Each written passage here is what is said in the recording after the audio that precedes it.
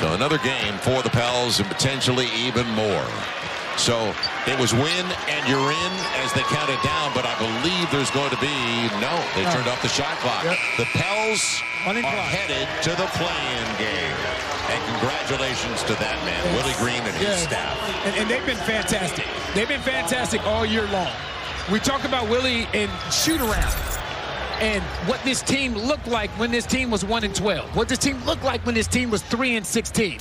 He never lost faith. He never blinked at any point, nor did he allow his players to lose faith.